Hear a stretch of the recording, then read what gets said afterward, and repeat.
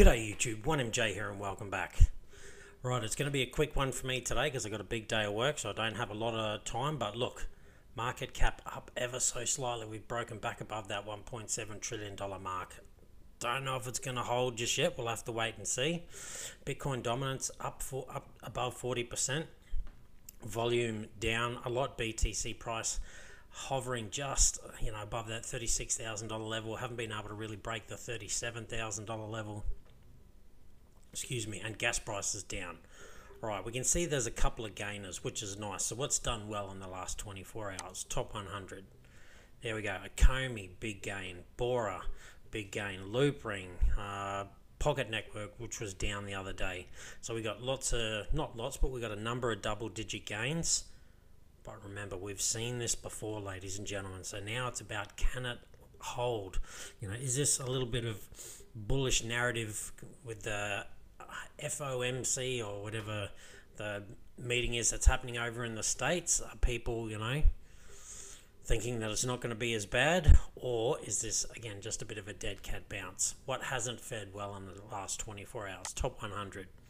Make it down a little bit. Celsius, Zcash, look, single digit losses and not much at all. ADA down around about a dollar. Uh, looking very, very interesting it has bounced from a dollar a number of times over probably the last 12 months or so. So you know, I'm not saying it's a buy, I'm just saying it looks interesting. You've got to make your own mind up. I'll never offer you financial advice. All right, now let's go to the markets and have a look. So Bitcoin, again, we got this bounce down at 32, sort of, sorry, 33,000 and it's come up, but it already looks like it's possibly going to roll over and it's only midweek. So that's why. Is this more of, you know, we've had a bounce up, roll over, bounce up, roll over, bounce up, roll over, bounce up, roll over, bounce up, roll over, and it's just continued. Is that what's about to happen now? Definite possibility. Guaranteed? Absolutely not. Nothing is guaranteed. That may have been the bottom, ladies and gentlemen. The CME gap basically being completely covered could be it. May not be it as well. We just have to wait and see. Right, Ethereum, very similar thing. It's just it's rolled over a little bit already and it's just kind of hanging on thin ice. And again i'm really looking at it getting down to kind of the $2100 mark thereabouts. Maybe not exactly like mine only come to here so uh, 2190 let's just say 2200 uh, again i've got my buy orders set in. You've got to do what's right by you. I've showed you how to do that if you watch my videos the other day. Uh, but you know not exactly looking strong at the moment total crypto market cap, uh, much sort of the same. It looks a little bit stronger, like it might have found support, but still could absolutely roll over uh, and go one lower. And like I said, really my bottom target, I'm thinking, unless we're in a bear market, which I don't think we are, unless this is the new bear market, it runs for a few months and then pumps up. But I think we could get down to the $1.34 trillion mark. I definitely think that's possible. I think it'll be a wick uh, if anything, I don't think it'll be uh, a full on candle body down there again, unless we are in a, a bear market that we're kind of used to. And I'm not sold on that just yet. But SPX still going down as well. But look, it's a bit of an indecision candle. Wicks to the upside and the downside, quite large, but the wicks that push down, they don't last long. So it does look like it's finding support around this kind of 4,350 ish dollar level.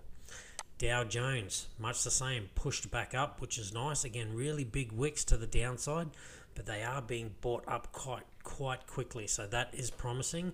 And unfortunately for the ASX, it just continues to go lower. It is not looking strong at all.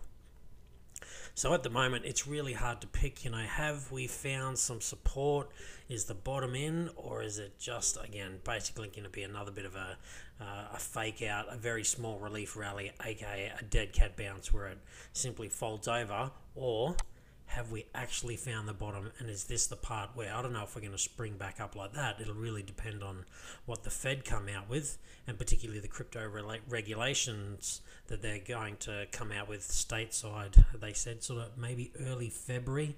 So we're literally only sort of a week and a half maybe two and a half weeks away from getting that news. Uh, that's what really we're really waiting on. I don't know if any information we get tomorrow will be enough to push the market sky high, but it might be enough to kind of level it out. And again, these may be the new bear markets. Maybe it's literally, I mean, what was that? April through to July. So, you know, sort of three months. And this one has been November, which is a lot longer, all the way through to January. So we're already into sort of four months there.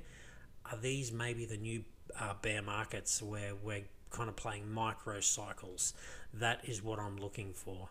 Uh, and unfortunately, look, you're not going to know until after it's happened, and then you can look back on it and go, "Oh yeah, I see what happened there."